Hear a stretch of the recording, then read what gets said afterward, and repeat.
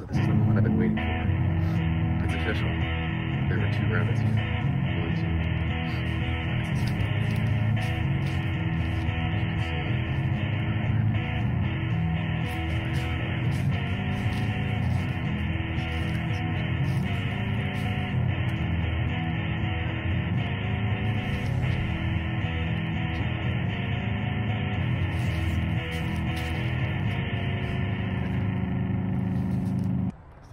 fantastic.